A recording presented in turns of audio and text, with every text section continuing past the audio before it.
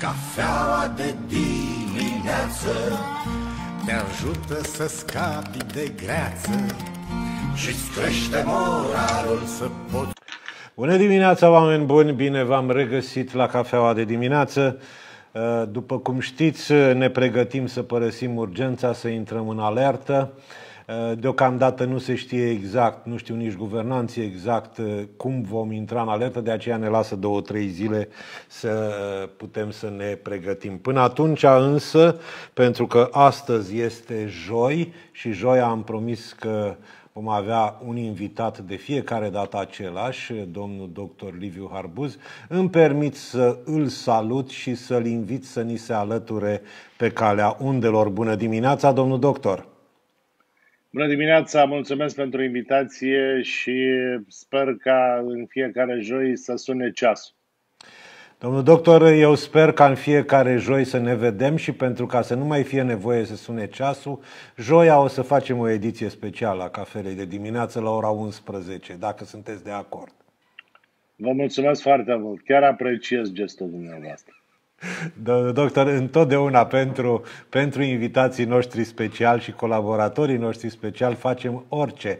Până atunci însă, aș vrea să vă propun astăzi o temă de discuție uh, Uh, puțin altfel despre pandemie. Lumea s-a săturat să dăm tot timpul, deși eu cred că sunt necesare, dar asta este o altă discuție, să dăm tot timpul despre numărul de morți, măsuri, etc. Ba chiar am primit și critici ieri că de ce tot vorbim despre același subiect. Și atunci eu v-aș propune să abordăm subiectul dintr-un alt punct de vedere. Cum ne va schimba viața la nivel nu numai individual sau pe zone mici, cum este un oraș, o țară, uh, ceea ce s-a întâmplat acum. Multă lume vorbește despre un exercițiu global de disciplinare a populației. Uh, un exercițiu în care niște guvernanți vor să vadă cum reacționează mulțimea în situații de genul acesta, folosind pandemia folosind pandemia despre care noi nu discutăm dacă este uh, pregătită, transmisă, etc., etc., sau dacă nu este. Noi pornim de la situația de fapt. În foarte multe țări ale lumii s-au luat măsuri speciale. Măsuri care îngrădesc libertățile și uh, libertățile democratice ale, fundamentale ale cetățeanului. Pe de altă parte, și între țări s-au luat măsuri speciale. Am căzut de acord într-o emisiune că Uniunea Europeană n-a funcționat la un moment dat sau nu funcționează cum trebuie. Nu funcționa. Ce părere aveți despre această temă și dacă sunteți de acord cu, cu ea? Da, este o temă foarte interesantă. Cred că ea ar trebui abordată din ce în ce mai des pentru ca oamenii să înțeleagă mecanismele, fenomenele, faptul că istoria se schimbă, regulile istoriei se schimbă, intrăm într-o altă eră, intrăm în paradigme noi. Uh, este o discuție macro. De ce? Pentru că ar trebui întâi să studiem ce a dus la această pandemie, ce se urmărește cu această pandemie, dincolo de implicațiile și efectele medicale ale pandemiei. Ar trebui să plecăm de la ceea ce se cheamă nevoile de bază ale omului. Uh, psihologul american uh, Maslow a făcut uh, la un moment dat, a propus spre studiu ceea ce se cheamă piramida Maslow cu nevoile umane. Deci, omul, această piramidă are cinci trepte. Omul are, în primul rând, nevoi fiziologice, apă, hrană, adăpost, sunt uh, nevoile fiziologice de supraviețuire. Uh, a doua etapă este nevoia de securitate. Securitate și siguranță personală până la urmă, pentru că Vedeți, oamenii sunt uh, din ce în ce mai preocupați de siguranță, securitatea personală și iată, în această pandemie ne aflăm în această sferă de influență. Pe locul 3 în piramida lui Maslow, vârful piramidei, pentru că atunci când vorbeam de nevoi fiziologice, vorbeam despre baza piramidei lui Maslow, Pe locul 3 este nevoia de apartenență, este nevoia de asociere, nevoi sociale. Este momentul în care trăim într-o societate în care vrem să uh, intrăm în organizații, uh, să socializăm, să ne integrăm într-o societate. Pe locul 4 este nevoia de recunoaștere și de stimă. Uh, este o, nivo- o nevoie a secolului 19, 20, 21. Ea a devenit uh, mai accentuată începând cu secolul, de fapt, cu secolul 18-19. Iar uh, cea mai importantă și ultima nevoie, care e în vârful piramidei, din păcate, spun eu, nevoia de uh, dezvoltare personală, nevoia de, nevoia de actualizare. Pentru că vrem uh, să intrăm în, adică de fapt intrăm în competiții, vrem să câștigăm aceste competiții. Acum am să revin și am să vă spun uh, despre cum se traduce această piramidă în zilele noastre. Iată că uh, suntem speriați și ne gândim uh, la o criză alimentară și atunci plecăm de la baza piramidei lui Maslow care vorbea de nevoi fiziologice, hrană.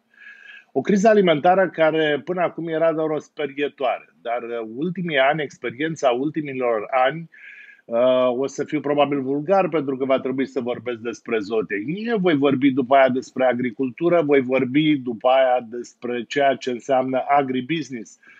Pentru că și agricultura, de-a lungul ultimilor 100 de ani, a trecut prin mai multe faze. Acum se află în ceea ce se cheamă agricultura digitalizată, deci nevoia de digitalizare a agriculturii pentru a crește performanța. Am crescut performanța în zootehnie, am uh, crescut performanța în agricultură. Cum s-au făcut până la urmă toate aceste lucruri? De fapt, uh, secretul este undeva la 2, 2 3, chiar 4 persoane, dar în, uh, în primul rând cei doi englezi, Watson și Crick, care în 1953 uh, au descoperit structura ADN-ului. Uh, odată cu descoperirea structurii ADN-ului, lumea s-a schimbat, pentru că ulterior a intervenit uh, ceea ce înseamnă ingineria genetică, modificările genetice. Poate că toate aceste detalii uh, parcă n-au o legătură cu criza prin care trăim astăzi. Ba da, au o foarte mare legătură. De ce? Pentru că am vorbit uh, despre uh, ceea ce înseamnă o eventuală criză alimentară. Uitați-vă puțin ce s-a întâmplat în ultimii ani. Am avut epidemii după epidemii și chiar și pandemii, așa cum avem astăzi, ne confruntăm cu o pandemie care au distrus efectivele de animale. Nu uitați, în urmă cu 2 ani, uh, chiar și acum, avem focare de peste porcină africană. Este o epidemie care poate produce pierderi foarte mari și poate afecta ceea ce se cheamă securitatea alimentară. Pentru că dacă vorbim de calitate, vorbim de siguranță, dacă vorbim de securitate, vorbim de cantitatea de mâncare.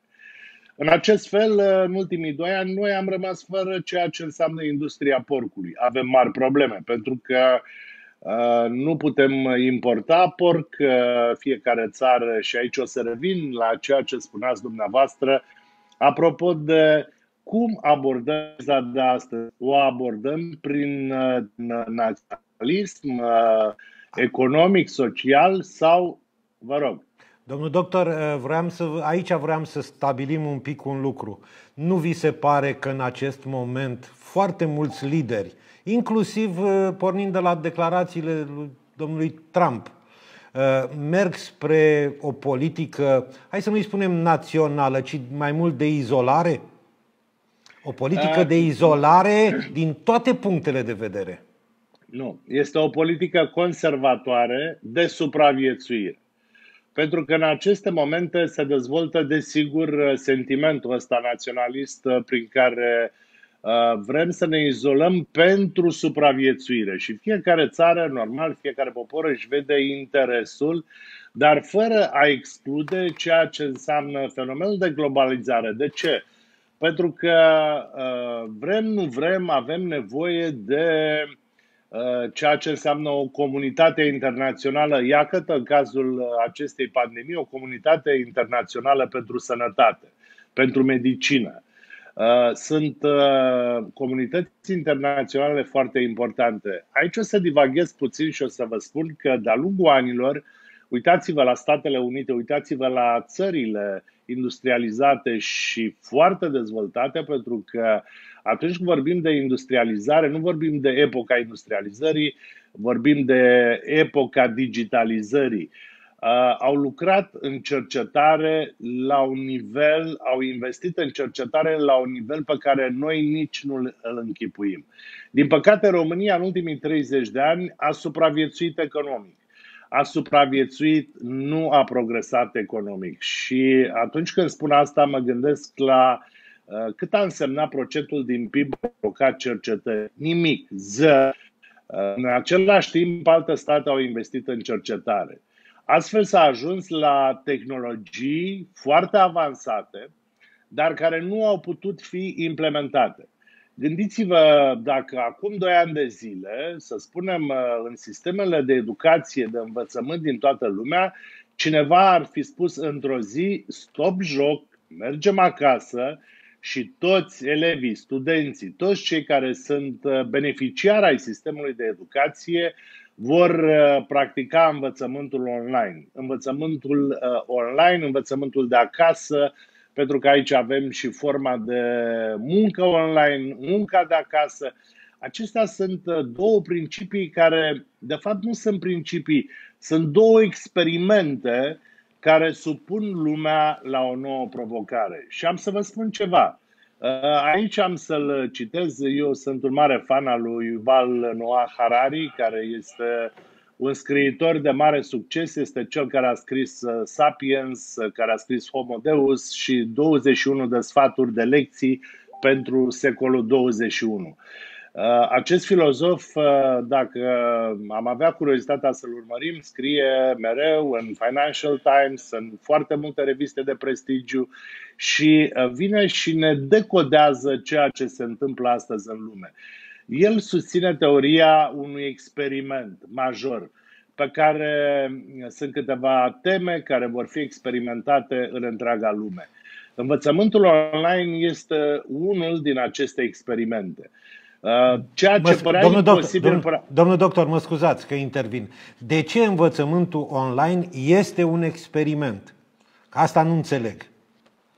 Uh, de ce este un experiment? Pentru că asta înseamnă să restructurăm întregul sistem de educație. Ba mai mult, când vorbim de învățământul online, vorbim și de o uh, formă captivă în care, hai să spunem, uh, deja trecem cu filozofia mai sus, uh, avem uh, organizații internaționale, uh, îi avem, uh, de exemplu, îi avem pe cei de la Google sau cei de la Apple sau uh, bineînțeles, și cu mijloacele de social media. Uh, populația, tineretul va fi mai ușor de îndoctrinat, chiar dacă mai greu de educat. Gândiți-vă că de-a lungul timpurilor a fost un război permanent, uh, altfel este și o carte foarte interesantă, se cheamă Uh, Fahrenheit 451, Fahrenheit 451 de fapt este temperatura de combustie a hârtiei, în care apocalipsa venea prin distrugerea tot ceea ce înseamnă hârtie și înlocuirea hârtiei cu uh, sisteme electronice, cu formatul electronic. Uh, cred că această modificare, uh, să nu vă gândiți cumva că după ce trece criza, când va trece, pentru că această criză în uh, abordarea filozofilor și a unor moguli, să le spunem, mondiali, uh, abordarea acestei filozofii este că nu se va mai întoarce nimeni la învățământul clasic. Este un experiment care, dacă va reuși, el va rămâne stabil și va avea continuitate. Deci, uh, de fapt, la nivel mondial se urmărește și aici nu vorbim de o teorie conspirațională, Teoriile conspiraționale sunt cele vulgare care spunem, domnule, nu e niciun virus, nu ne îmbolnăvim. Ba da, este un virus, ne îmbolnăvim, avem probleme. Vorbim aici de o abordare macro care implică, până la urmă, noi filozofii de viață, realități. Pentru că revin, toate aceste tehnologii au fost produse de o cercetare asiduă, ele au devenit produse de uh, vândut în piață.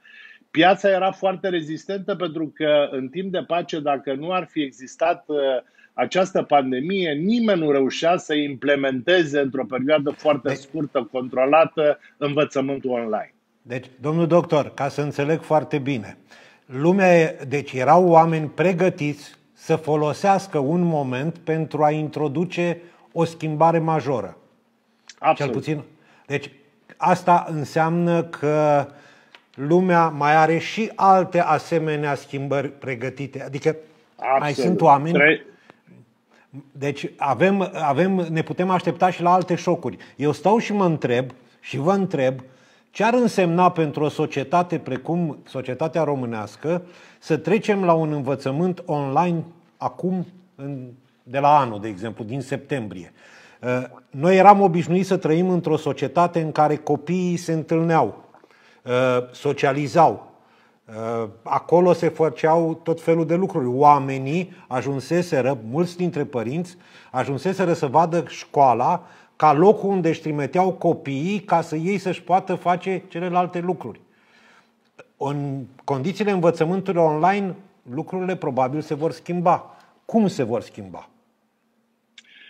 Păi, uh, învățământul va fi de acasă, uh, dar probabil că lucrurile se vor schimba treptat, nu chiar peste noapte, deși uh, macro privind ele se schimbă într-o perioadă foarte scurtă. Aici este vorba și de competiția între țări și de zone, și de zone de dezvoltare. Gândiți-vă că în Statele Unite, în, deși și acolo există probleme pentru uh, elevii și studenții săraci, dar uh, se pare că statele, de fapt nu statele, ci companiile, marile companii producătoare de gadgeturi, de tot ce înseamnă electronică folosibilă pentru învățământul online, au fost pregătite și se vede că există stocuri foarte mari de astfel de gadgeturi, aici mă refer la telefoane, tablete, laptopuri, PC-uri, au fost pregătite pentru a oferi studenților și elevilor în momentul în care piața o cere, ei au venit și au satisfăcut imediat piața pentru că erau pregătiți. În același timp au venit cu soluții, au venit cu programe uh, uh, referitoare la învățământul online. Toate aceste lucruri, desigur, pentru România, care, hai să spunem, noi suntem mai tradiționaliști și asta nu e foarte rău. Noi, noi doi, cel puțin, avem ceea ce se cheamă nostalgia învățământului în care uh, Uh, de exemplu, uh, eu până am să mor, am să am în memorie uh, vocea învățătoarei mele, atingerea învățătoarei mele. Momentul ăla în care îi ofer flori de 8 martie, nu așa cum se face astăzi când devine un lucru obligatoriu, când îi oferai flori, eu mi-aduc aminte cum mirosea educatoarea mea. Și cred că este o caracteristică a generației mele. Se pare că lucrurile se schimbă, uh, forma în care uh, chimia asta care se realizează între un elev și un învățător, un profesor, este una specială. Dar uh, opus, opus acestui lucru, gândiți-vă că învățământul a ajuns o junglă în care profesorii bat elevii sau, în cel mai, ferici, în cel mai rău caz, elevii bat profesorii lucrurile s-au schimbat major. Iar uh, toate aceste lucruri, uh, să nu vă închiți că dacă noi în 30 de ani am fost atenți la politicieni, câte case și-au făcut, câte mașini și-au luat, cât au furat, câte drumuri au făcut, în acest timp lumea nu a, uh, de fapt nu a progresat, eu nu consider neapărat un progres, dar lumea a mers înainte. A analizat, a cercetat și a impus noi teorii și noi paradigme pe când noi am rămas așa un soi în România, un soi, într-un soi de provincialism în care ne-au preocupat doar uh, lucrurile mărunte. Pentru că vorbeam, uh, aici e învățământul, dar uh, gândiți-vă sistemul de sănătate. Niciodată n-am avut bani să susținem sistemul de sănătate. Subfinanțarea sistemului de sănătate se vede astăzi, pentru că el este probat în criză. Astăzi au ieșit la iveală foarte multe probleme ale sistemului de sănătate. Uitați-vă puțin uh, și faptul că pe mine mă doare foarte mult asta și deși ne contrazic reprezentanții Ministerului Sănătății, oamenii cu alte morbidități decât coronaviroza au suferit foarte mult. Nimeni nu ne spune câți mor uh, de infarct, de AVC, de diabet, de boli Asta este o problemă. hepatice sau renale. Uh, ei nu ne spun de ce, pentru că COVID-ul este mai tentant, este la modă, se poartă, putem ieși în presă, ca, adică pot ieși în presă, ca director de spital, ca președinte de Consiliul Județean, ca prefect, ca whatever, ca reprezentanții guvernului. E o formă de promovare în care deja se bagă foarte mulți bani. Dar eu mă întreb, unde se oprește interesul politic când se finanțează această e un mod de comunicare, să spunem, uh, necesar. De ce? Pentru că uh, populația trebuie informată asupra cauzelor, pericolului și combaterii acestei pandemii. Dar în același timp, uh, politicienii în toată lumea, vorbesc de România, profit această situație pentru a cheltui sume foarte mari de bani. Uitați-vă câți bani s-au cheltuit. Mă uitam la, de exemplu, chiar județul Neamț, câți bani se cheltuiesc pentru promovarea, de exemplu, a Consiliului Județean sau promovarea uh, primăriei. O primărie care, vedeți despre ce vorbim, despre educație, despre sănătate, despre ceea ce înseamnă criza alimentară. Uh, perspectivele primarului în Piatra Neamț se reduc la acele uh, dispensere de dezinfectant din scara blocului. Adică mi se pare puțin uh, vulgar într-un asemenea da. context internațional în care lumea se schimbă. Domnul doctor, dați-mi voie să glumez, că vă înșelați, nu numai asupra, atenția primară nu se îndreaptă numai asupra acelor dispensere. De exemplu, zilele trecute s-a discutat despre un plan privind uh, transformarea orașului Piatra Neamț într-un oraș smart city. Vă spune ceva lucrul acesta?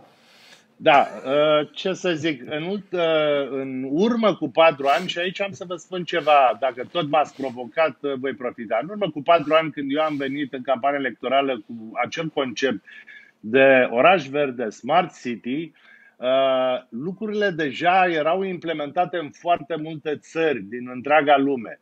Domnul primarul actual, că nu vreau să dau nume, îmi spunea, a venit Harbuz cu avioane, cu nebunii, cu science fiction, smart city.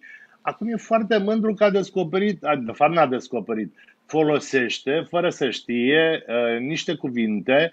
Uh, atunci când vorbește despre Smart City și despre componenta despre care vorbește în momentul de față, este vorba despre digitalizarea întregului sistem al administrației publice locale, mă refer aici la primăria Piatra Neamț, Aș vrea să-i spun, domnule primar, că această digitalizare putea fi făcută în urmă cu patru ani, cel puțin doi ani, decât uh, eu, prin uh, uh, o companie care a încercat să ofere consultanță primăriei Piatra Neamț, au venit cu această propunere de digitalizare și de implementarea unui astfel de proiect. Desigur, domnul primar a auzit că îi cunosc și a zis nu, nu avem noi nevoie de așa ceva. Uh, acum aș vrea să spun că se plătesc prețuri foarte mari și revin în sistemul macro în ce schimbări se întâmplă în întreaga lume. Uh, acest fapt a adus mari pagube și materiale și morale cetățenilor în Piatra Neamț. Pentru că întârzierea din motive de orgolii, din motive politice, unor astfel de decizii și măsuri aduce mari prejudicii comunității. Dar să plecăm, uh, ne-am propus da, asta să vorbim. Da, pe uh, asta, asta vreau să. Haideți să discutăm un pic, deja este aproape ora 9, după cum vedeți, timpul zboară. Uh, haideți să vedem un pic, pornind de la ce se întâmplă în jurul nostru ca țară, ce se poate întâmpla pe plan mondial. De exemplu, în această isterie de pandemie, încet, încet, în vecinătatea noastră, în apropiere, în Ucraina, președintele acela care este un actor, am înțeles, de comedie, sper să nu fie la fel și în uh, activitatea politică, Deci nu, președinte... se, pare că, se pare că așa actor de comedie, acest președinte are rezultate foarte bune și a reușit să, să echilibreze Ucraina în uh, condițiile în care ea se afla într-o stare de tensiune foarte mare. Da, din acest punct de vedere, da, dar acum se pregătește semnarea unui decret care să recunoască anexarea Donbasului de către Rusia, cel puțin. Astea sunt uh, știrile care transpar dinspre zona respectivă. Uh, Rusia. Bun, dar vedeți că această știre cu Donbassul și cu anexarea și cu acest decret uh, le-ați citit dumneavoastră, dar în rest nimeni și mai ales la nivel de vârf politic vorbind în România, nimeni nu este atent la mișcările, mut, stările pe tabla de șah uh, la nivel geopolitic, economic, care se întâmplă în întreaga lume. De exemplu, nu știu dacă sunteți informat, aseară a fost făcut public un raport al CIA uh, care spune că, de fapt, China este vinovată de ceea ce se întâmplă astăzi, de această pandemie. Deci vorbim deja de un raport CIA preluat de către uh, conducerea Statelor Unite, chiar de președintele Trump, Uh, pentru că în ianuarie a ascuns, uh, în ianuarie 2020, a ascuns foarte multe date referitoare la această pandemie, ba chiar uh, CIA acuză China pentru explozia globală a pandemiei, Ba mai mult, încă un lucru foarte interesant, groaznic altfel, dacă o luăm în ceea ce înseamnă situația uh, politică la nivel mondial, uh, Uh, acuză China că ar fi făcut stocuri de materiale pe care le-au furnizat ulterior țărilor care au avut nevoie după ce a explodat această pandemie. Așa că, știți, Donbassul trece ne, neobservat. Uh, Rusia și China uh, și Turcia folosesc această pandemie. Uitați-vă Uh, relația cu Serbia, ce s-a întâmplat. Uh, faptul că, într-adevăr, în, uh, și ăsta e titlul emisiunii dumneavoastră și aș vrea să revin la el, ce facem, devenim să separăm național, întrucât marile puteri din Europa, comunitatea Euro- marile puteri au avut soluții doar individuale pentru țara lor, cum ar fi Germania, Franța, nu au reușit să ajute alte țări, cum ar fi Italia, care a suferit foarte mult. Uh, ați văzut reacția Serbiei în momentul în care a cerut ajutor uh, Comisiei Europene, uh, nu au primit ajutor și atunci președintele Serbiei l-a primit, a primit avioane militare din China cu ajutare, mulțumind poporului chinez.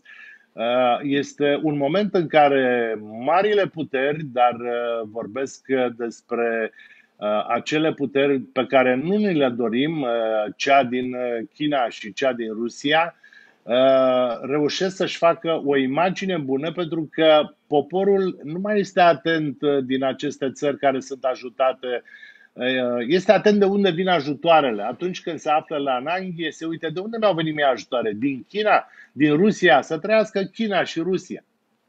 Așa este și uh, acum circulă tot felul de teorii. Uh, Statele Unite ale Americii se pare că încep să redescopere că au nevoie. Domnul Balanescu, domnul Balanescu, nu sunt doar teorii. Sunt lucruri care se întâmplă și care trec pe lângă noi. Pe mine asta mă sperie. Trăim într-o țară care nu este atentă la contextul internațional, nu este atentă la ceea ce înseamnă Uh, politica globală și mai ales geopolitica, economia, lucrurile se schimbă într-un ritm pe care noi nici nu-l simțim. Noi suntem atenți dacă uh, starea de urgență se transformă în stare de alertă sau scuzați, ce-o fi, da. Da, da, da alertă. Da, în stare de alertă. Noi uh, suntem atenți la definiția acestor, uh, nu foarte atenți consecințe. Gândiți-vă că astăzi în lume oamenii trebuie să aleagă între două lucruri. În a fi sănătoși și a fi în siguranță, și asta se face prin două feluri. Fie uh, guvernele impun cu forța acest lucru, fie oamenii sunt responsabili. Dacă oamenii nu vor fi responsabili și uh, guvernele vor justifica intervenția lor în ceea ce înseamnă până la urmă pentru că ajungem la sistemele electronice folosite. Gândiți-vă că în curând în unele țări se va impune uh, pentru, desigur, pentru sănătatea cetățenilor, brățara biometrică. Uh, această brățară biometrică și toate sistemele, chiar și sistemul de luare a temperaturii. Știți că sunt aceste termoscanere deci lucrurile se schimbă uh, încet, încet. Cei care conduc lumea și o să vorbim în alte emisiune despre uh, cei care într-adevăr conduc lumea. Gândiți-vă că cercetarea în Statele Unite este într-o proporție de 90% privată. Cine are bani să bage zeci, sute de miliarde de dolari în cercetare? Companii care au produs bani, aceste companii vor să-și întoarcă banii înapoi, vor doar profit vor face orice ca aceste sisteme să fie implementate. Și mereu ni se va spune, dar în interesul tău trebuie să fii în siguranță, trebuie să-ți verificăm uh, trasabilitatea, tracking-ul, pe unde umbli, cu cine te-ai întâlnit. Deci uh, partea de intimitate a cetățeanului, a omului de pe această planetă va dispărea în curând zi de zi. Chiar dacă accept sau nu accept acea brățară biometrică, telefonul se transformă în așa ceva, ceasul ți se absolut. poate transforma, ochelarii ți se pot transforma în așa ceva, absolut Dar orice. Să, să, să știți că uh, manipularea în masă care se produce, nu vorbesc astăzi în România, eu vorbesc acolo unde lucrurile, de exemplu, vă dau China, Corea de Sud, uh, sunt țări în care aceste brățări biometrice au fost uh, folosite experimental iar de la aceste experimente ele vor fi generalizate. Gândiți-vă că tot ce se întâmplă și când suntem măsurați biometric uh, în uh, aeroport, Încet, încet uh, este o recunoaștere facială. După aia apare, ați văzut că în anumite aeroporturi sunt uh, acele scanere care chipurile sunt folosite pentru a nu face trafic de droguri sau de arme împotriva terorismului. De fapt, ele îți scanează corpul și avem uh, scanarea corporală. După scanarea corporală vine scanarea în detaliu. Și am să vă spun cum. Gândiți-vă că toate aceste sisteme, cum ar fi brățara biometrică, de exemplu, ne măsoară pulsul, ne măsoară uh, tensiunea arterială, ne măsoară temperatura, încet, încet ne măsoară uh, tusea, deci ne identifică și ne măsoară uh, repetitivitatea tusei. Gândiți-vă că ulterior îți va monitoriza râsul Uh, atunci când îți măsoară tensiunea și uh, ritmul cardiac, uh, te evaluează emoțional. Deci încet, încet vom fi controlați emoțional și vom putea fi manipulați de aceste tehnologii în sensul în care să cumpărăm un produs, să votăm un politician. Deci, astea sunt realități și revin la Harari, la acest, eu îl consider un geniu, e profesor la Universitatea din Israel, profesor de istorie, așa cum spun și filozof, un om care a vorbit despre foarte multe lucruri înainte să se întâmple, dar nu a vorbit despre o politică a anticipației, ci a venit cu realități, a venit cu uh, germeni de proiecte care urmau să se dezvolte. Iată că această pandemie aduce uh, aceste uh, sisteme unul după altul în realitate. Domnul doctor, uh, aceste sisteme au fost implementate relativ simplu în țări dezvoltate, Corea de Sud ați amintit, în care uh, societatea s-a dezvoltat foarte rapid pe fondul unei educații care exista la nivelul populației. Credeți că în țări, precum țările noastre, România și alte țări, cam la același nivel, unde populația are o mare rezistență la acest gen de schimbări, unde există o rezistență care pleacă și dinspre zona aceea de educație veche, întărită prin credință. Avem cazurile cu chipurile, țineți minte. Ce, ce, ce credeți? spuneți dumneavoastră este, este perfect real. Noi avem uh, o rezistență extraordinară. Noi suntem o societate conservatoare. Noi suntem uh, ortodoxi și foarte mulți din România chiar ortodoxi practicanți. Uh, asta, pe de o parte, e foarte bine, uh, mai ales credința, religia, indiferent de tipul de religie, au fost până acum pentru unii o formă de manipulare. Credința în sine este o formă individuală de protecție. Eu vorbeam de religie. Dar în același timp aș vrea să vă spun, gândiți-vă că în zilele noastre sunt foarte mulți români care vor să vină acasă. Sunt foarte mulți uh, părinți, copii, studenți în străinătate. Vor, uh, aseară mă uitam la o televiziune, foarte mulți părinți puneau întrebări, domnule, bun, mă duc să-mi aduc copilul pentru că vreau să-l am în vacanță, să-l am acasă, în țară. Vorbim aici de zeci de mii de oameni. Desigur, și e firesc, legislația în vigoare azi în România spune că atunci când se întoarce în țară, trebuie să stea 14 zile obligatoriu carantinat instituționalizat. Oamenii nebunesc la ideea că s-ar putea întoarce în țară și ar putea fi băgați în niște hoteluri sau niște bareci pentru a sta 14 zile tatăl sau mama sau tatăl și mama și copilul. Deci uh, îngrijorarea asta, până la urmă vorbim și de o mare presiune psihologică aici.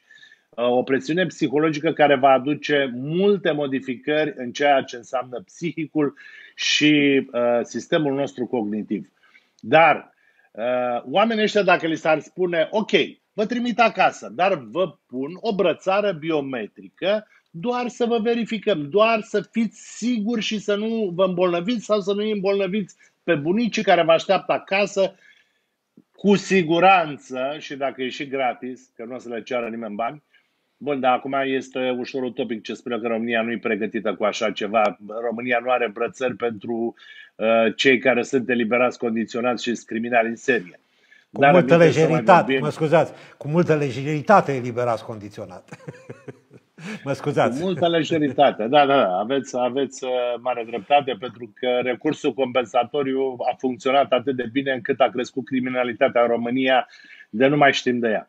Dar revin, gândiți-vă că toți acești oameni ar accepta brățara biometrică de ce? Și mă repet, pentru că este în interesul lor, pentru că în momentul acela au senzația că uh, le retrage limitarea drepturilor civile, adică în stilul în care, ok, ai drepturi civile doar cu brățara la mână. Și atunci oamenii vor spune da. Cam așa funcționează bine. Eu am minimalizat uh, uh, dând acest exemplu, dar așa funcționează sistemul uh, de introducere pe piață a noilor tehnologii. O să vă mai spun ceva. S-au creat foarte mulți roboți pentru roboți pentru spitale. Roboți și nu mă, nu mă refer aici la aparatură medicală. Pentru îngrijirea bolnavilor, roboți pentru îngrijirea bătrânilor Uh, de ce să pun acești roboți? În primul rând că ei nu se infectează. Dar ne gândim că toată această tehnologie, până la urmă, ce va face? Va reduce numărul de locuri de muncă, tehnologiile de înalt nivel, high-tech-ul, va înlocui forța de muncă umană și astfel vom avea foarte mulți oameni care nu mai au ce face.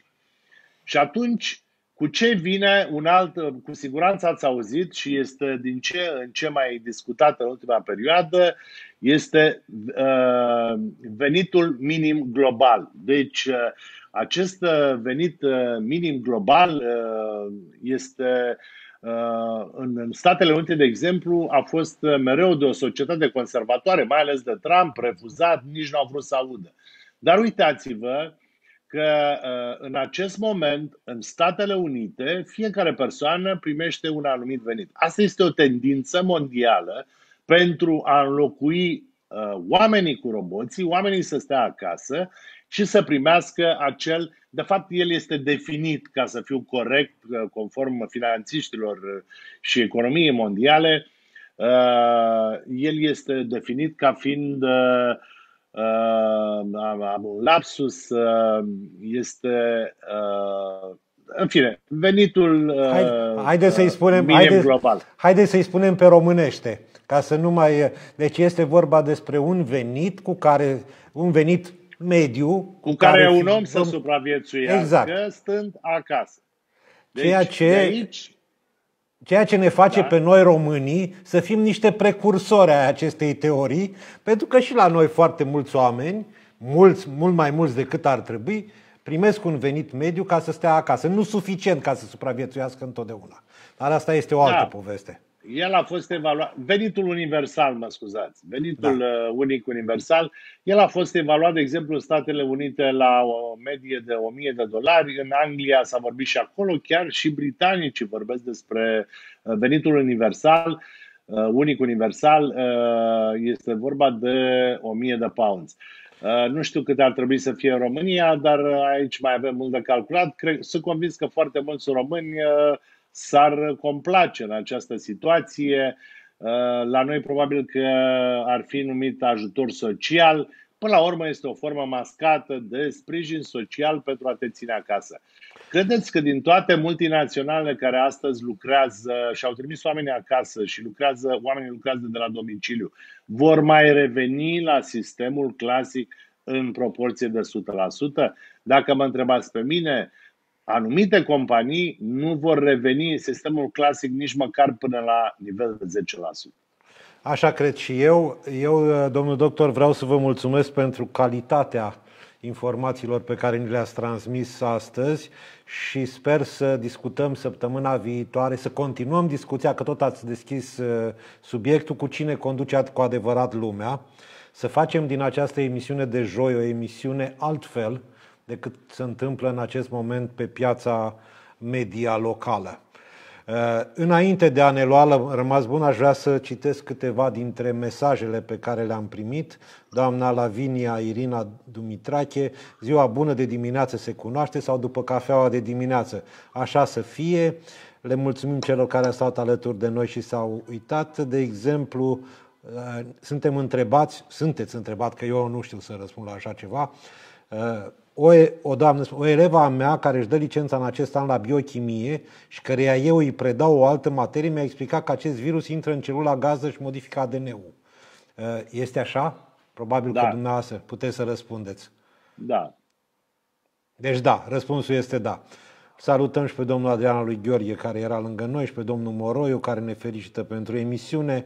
Uh, ni se spune că e bine că am abordat Dar subiectul plăcea, acesta. Mă scuzați, Mă scuzați. Vă rog. Mi-ar plăcea foarte mult ca într-o emisiune să-l invitați și pe domnul Adriana lui Gheorghe, pentru că cu siguranță mi-a ridicat și mie nivelul intelectual. Vă mulțumesc în numele domnului Adriana lui Gheorghe. Domnul doctor, încă o dată vă mulțumim pentru participarea la emisiune. Eu vă și, mulțumesc. Și vă dorim o zi frumoasă. Haideți să nu încheiem, vreau să vă mai întreb ceva. Ce se întâmplă? Într-o notă optimistă. Da. Într-o notă optimistă. Într-o notă optimistă. Spuneți-mi și mie, din ce știți dumneavoastră, la cine va fi decizia de numire a directorilor de spitale după data de mâine? Vedeți, ă, noi am vorbit despre încălzirea, despre încălzirea globală și Azi... dumneavoastră mă întrebați dacă ați, vrut, ați văzut? grajdul dintr-un sat uh, are uh, panouri solare. Da, uh, dar e important la noi la Piatra. Știți, știți unde va fi decizia? La cine vor ei. Și se vor bate pentru această decizie, pentru că numirile în continuare sunt politice. Dacă nu vom reuși să depolitizăm aceast, acest lucru mizerabil să so, toată societatea mondială să uite la specialiști astăzi, la oameni de știință. Trebuie să ne uităm și noi puțin la specialiști, la oameni de știință. Haideți să aducem oameni de valoare fără a avea o etichetă sau o ștampilă politică. Vă mulțumesc, la revedere, numai bine și să mergem. La revedere, vă mulțumesc. Oameni buni, să reținem din emisiunea de astăzi că lumea se schimbă că România nu este în acest moment atât de bine ancorată la aceste schimbări și că trebuie să ne uităm după oameni de valoare. Un om de valoare a fost astăzi în emisiune cu mine, domnul dr. Liviu Harbuz și sperăm ca joia viitoare să continuăm discuția pe aceleași coordonate cu noi și noi informații care să vă facă plăcere. La revedere, numai bine!